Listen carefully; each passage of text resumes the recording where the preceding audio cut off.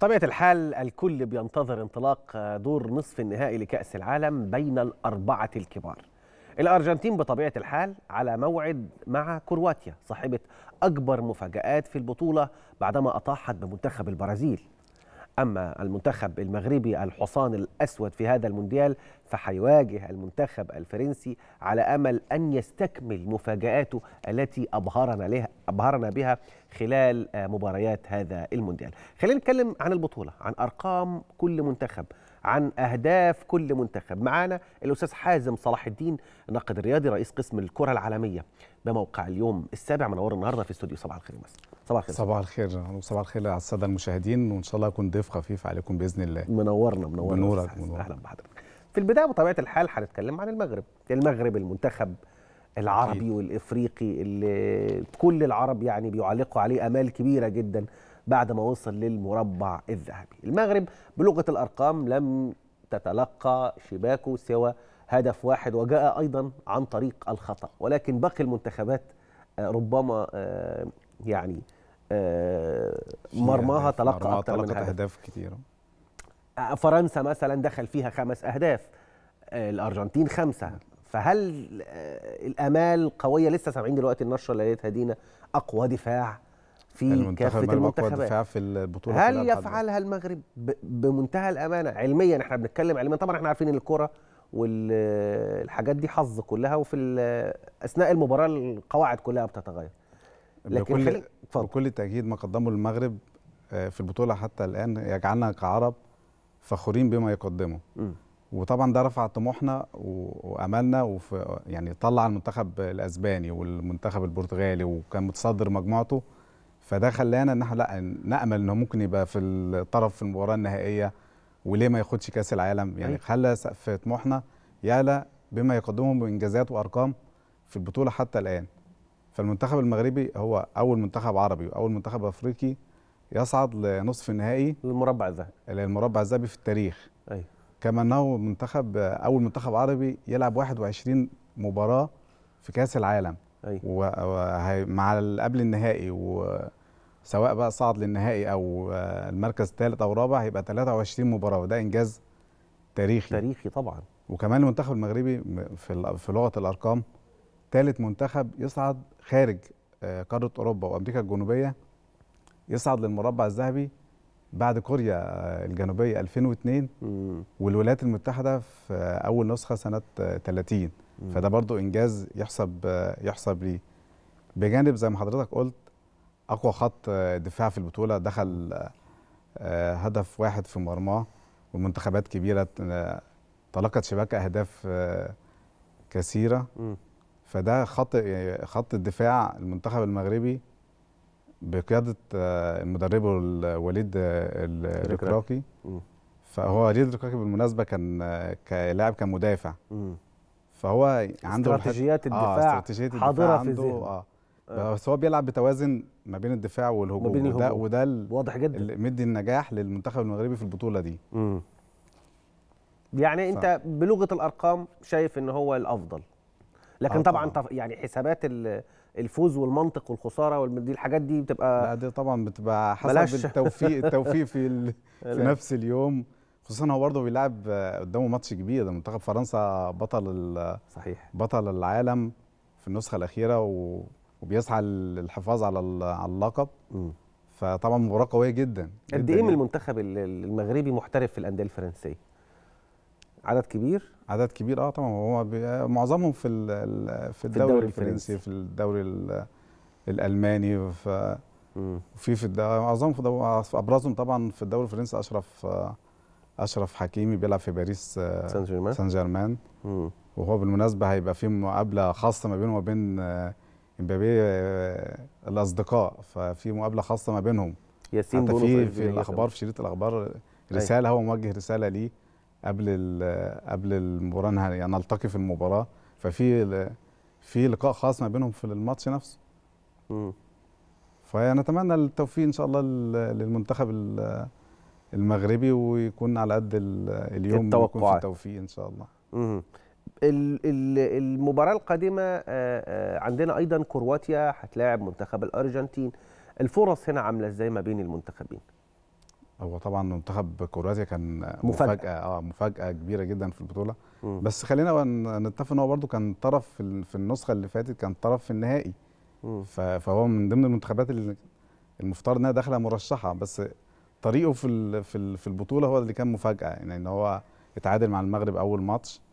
وبعد كده كسب آه، كسب كندا وبعد كده في تعادل فصعد تاني ورا خلف ال- المغرب مم. بعد كده صعد على حساب اليابان بعد التعادل مم. في المباراة بر- كسب بركلات الترجيح 3-1 مم. بعد كده كانت المفاجأة الأكبر ال- البرازيل مم. كانت كل الترشيحات يعني بتتجه نحو البرازيل إنه هيبقى طرف في النهائي فجأة بعد ما كان فايز على كرواتيا نلاقي كرواتيا اتعادلت في اتعادلت في الآخر ولعبوا وصل لركلات الترجيح وكسبوهم مع 4-2 فده كانت كانت كبرى كبرى المفاجآت ومشوارهم. طول البطولة كسبوا كسبوا ماتش واحد في دور المجموعات بعد كده تعادل بيكسبوا بضربات ال... بضربات الترجيح فطبعا مباراة صعبة جدا جدا جدا على ال... على الأرجنتين خصوصا ال... ال... نقاط القوة إيه عند المنتخب الكرواتي؟ آه، الوعي التكتيكي والدفاع آه، والهجمات المرتدة. عندهم وعي تكتيكي جدا مبين قوي من البطولة اللي فاتت آه، بطولة آه، 2018 كان نفس الاستراتيجية اللي ماشيين عليها. هي هي هي الموجودة. طبعا في بالقائد قائدهم ال- اللاعب الكبير لوكا مودريتش. لاعب ريال مدريد. فهو القائد محنك في وسط الملعب. فقائد الفريق محارب محارب ومعاه مجموعة محاربين. فبيلعبوا بلعب جماعي ويعتمدوا على الهجمات المرتدة. ومعاهم حارس مرمى كويس في ركلات الترجيح. فده مساعدهم. في ان هم يوصلوا لل- لل- للمستوى والدور آه، قبل النهائي. بس آه، خلينا متفقين إن الم- الم- المواجهة المرة دي صعبة جدا آه، قدامهم خصوصا إنها مع الأرجنتين والأرجنتين عندها هدف. عندها هدف كبير جدا. بجانب إنها منتخب كبير و وفي. نجوم وميسي بس. عندهم هدف كبير جدا البطولة دي إن هم عايزين ياخدوها. ميسي تكاد تكون خلاص يعني آخر بطولة ممكن يلعبها. رونالدو كان عايز ياخدها آه. وعيط في النهاية. آه وعيط في النهاية. المغرب طبعا. ما فيش حد أكبر يعني آه ما فيش الكورة حد ملهاش كبير كبير بس أقصد. إن هو المواجهة صعبة. مم. في هدف كبير هنا وفي هدف كبير هنا.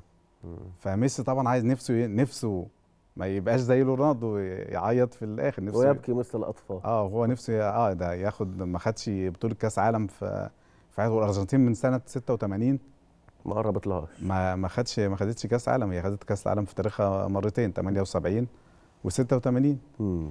فنفسهم كمان في روح كمان عايزين. يهدوا كمان البطولة هم حتى معظم تصريحاتهم عايزين يهدوا البطولة آه لمارادونا للأسطورة الأرجنتينية الراحل مارادونا. فنفسهم هم عندهم هدف كبير آه، كبير برضه وده أيوة. باين باين عليهم طول ال- البطولة بعيد عن أول ماتش طبعا كان المفاجاه الكبيره في خسارتهم قدام المنتخب. السعودي الشقيق.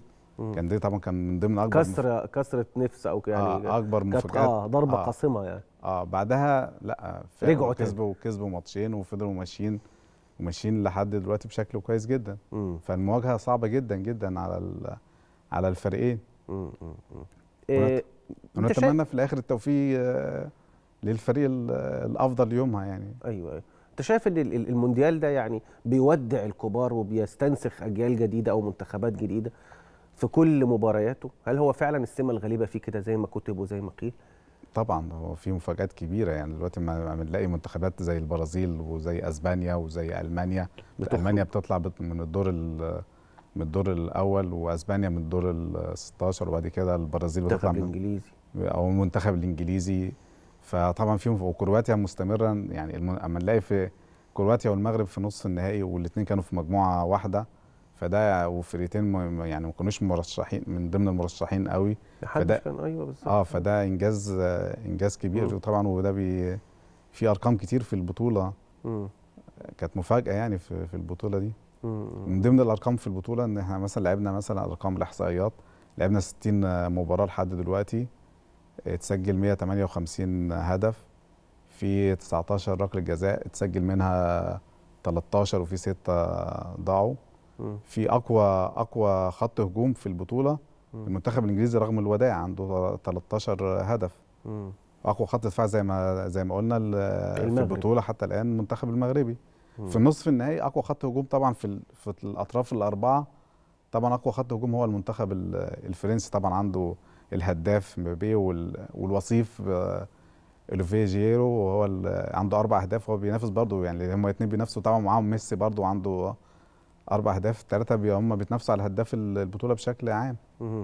فالبطولة فيها أرقام آه، كتير مفاجأة حافلة من مفاجآت. وحافله بالمفاجات والأرقام. لو رجعنا المنتخب ال- ال- المغرب مرة تانية أقوى نقطة قوة عنده وأق- وأكتر نقطة ضعف من خلال تحليلك هو أقوى نقطة آه، قوة ال- الروح الجماعية. هو الفريق مش بيعتمد على النجم الأوحد.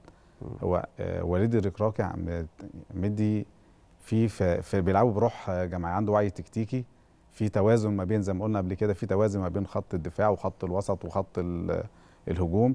وإحنا شفنا طول البطوله خط الوسط مع خط الدفاع سفيان أمرابط آه، عامل بطولة أكثر من رائعة رغم إن هو يقال إن هو بيلعب بمسكنات وعنده إصابات.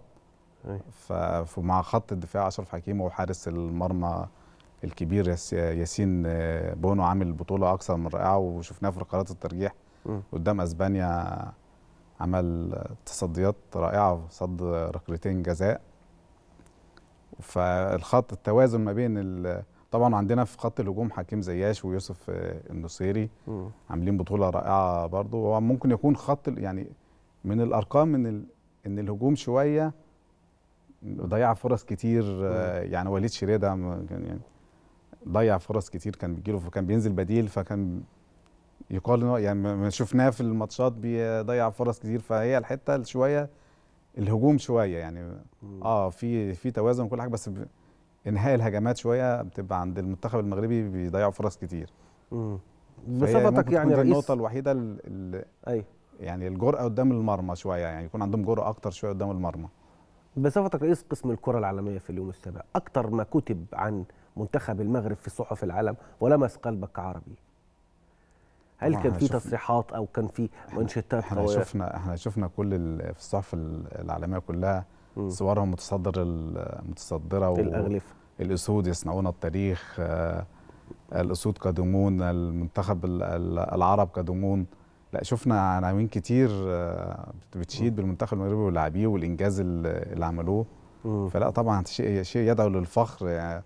ونتمنى إن دي ما يكونش حاجة انتفاضة نتمنى ده استراتيجية المنتخب المغربي يستمر والمنتخبات العربية والأفريقية يكون عندهم جرأة في البطولات الجاية يكون في بقى نظام نظام الاتحادات تمشي زي الاتحاد المغربي كده في يكون نظام مم. في ترتيب في في بجد خطة مرسومة الناس تمشي عليها إن إن إحنا نقدر يعني المنتخبات العربية تقدر توصل نص النهائي و وينافس على اللقب يعني الموضوع سهل ده كوره دي كوره ولعبة يعني لعبة جماعية 11 قصاد 11 مم. وال وال والأكثر تركيزا والأكثر مهارة والأكثر تخطيطا ممكن يوصل ويحقق أهدافه.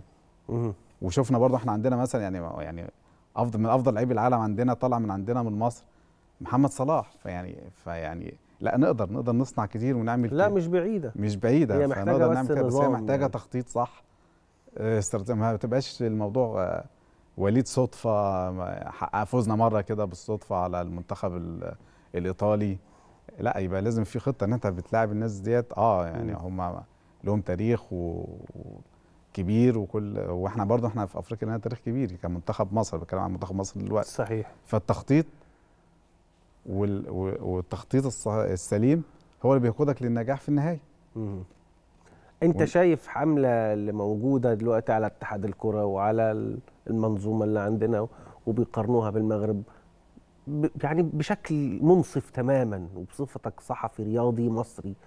ومواطن مصري في النهاية بتحب بلدك وبتحب منتخبك قد إيه منها صح وقد إيه منها غلط؟ بغض النظر عن نظريات جلد الذات يعني في برضه ناس بت زي ما بيقولوا كده إيه بتستمتع إن هم ينتقدوا وخلافه ولكن خليني برضه أبقى منطقي وموضوعي ما قيل في هذا الأمر إيه؟ عشان الأمر ده ربما بيهم قطاع كبير جدا من المصريين. بكل تأكيد طبعا يعني طبعا يعني في جزء كبير في يعني في زيادة في الهجوم يعني في زيادة قوي بس ده ما يمنعش إن إن الهجوم لأ في جزء صحيح في جزء صحيح إن إحنا بقالنا سنين كتير جدا مش عارفين نحدد خطة نمشي عليها صح يعني كل شوية يعني حتى في اتحاد الكورة الفترة الأخيرة كل شوية تغييرات لجنة تيجي لجنة تروح فده كله عدم عدم الثبات ال- الإداري عدم الثبات الإداري ده بيقودك في الآخر لنتائج سلبية. لكن لو كان في في ثبات وفي آه، اتحاد ثابت وفي في اتحاد كره ثابت وفي خطة موضوعة وفي أهداف موضوعة فده اللي إحنا بنفتقده بشدة بشدة بشدة جدا أيوة. لما بيكون عندنا آه، استقرار إداري أو في أي منظومة أي أي صحيح. منظومة فيها استقرار صحيح. إداري بيؤدي للنهاية في النجاح اي ما- فاحنا عندنا لا إحنا عندنا عوار كتير جدا في في, في الخطط للمنتخبات وشفنا الفترة الأخيرة نتائج سلبية لجميع الأعمار ال- السنية للمنتخبات عندنا فلا لازم يكون في وقفة بجد من اتحاد الكرة إن إحنا لا بقى بجد يعني م- مش م... إحنا م- مش ب- مش بنعلق مشانق أو بنقول لا كذا لا إحنا نقف بجد بقى نشوف صحيح. تجربة المغرب ونستفيد منها نستفيد بقى إن إحنا نقف بجد و... ونقف ورا منتخب منتخبنا مم. عشان نحقق نرجع تاني المنتخب نشوف المنتخب في أفريقيا بياخد بطولة أفريقيا بيصعد كأس عالم ما يبقاش صعدنا كاس عالم زي 2018 بالصدفة وطلعنا من الدور الأول. لا إحنا عايزين يبقى عندنا خطة نصنع منتخب قوي اي ون ون وعندنا لاعبين محترفين كتير على طريقة محمد صلاح يقدروا يشيلوا يشيلوا المنتخب صحيح. ويقودوه لل- للإنجازات زي المنتخب المغربي ما شفناه في البطولة الحالية. صحيح صحيح. على أي حال متفق معك تماما. إحنا في انتظار المفاجآت في مونديال المفاجآت. آه، 2022 بطبيعة الحال اللي بدأ بمفاجآت ربما أيضا ينتهي بمفاجآت. البعض وصف هذا العام أن هواه شرقيا. فهل يعني تستكمل آه، شهور هذا العام هذه المفاجآت بأن تكون آه، ختام هذه البطولة هواها شرقي ويكون القادم من الشرق هو من يحمل المونديال؟ لا أحد يعلم المونديال ده بيحصل في إيه والكل متفاجئ بطبيعة الحال ولكن صعود المغرب وصعود كرواتيا في الأدوار النهائية في المربع الذهبي كان مفاجأة بكل المقاييس لكل المتابعين لكرة القدم في العالم. بنشكر الأستاذ حازم صلاح الدين الناقد الرياضي رئيس قسم الكرة العالمية في اليوم السابع على تحليله شرفتنا النهارده أستاذ حازم ونورتنا شكرا لي جزيلا وسعيد باللقاء. ونتمنى في النهاية ال- المنتخب المغربي يصعد للنهائي ويحقق لقب ويسعد الشعب ال- العربي جميعا ونتمنى التوفيق للمنتخب المصري فيما هو قادم. صحيح. ونقدر نعود تاني. لصدارة المشهد. صحيح. وبالتوفيق. للمنتخب المغربي إن شاء الله. شكرا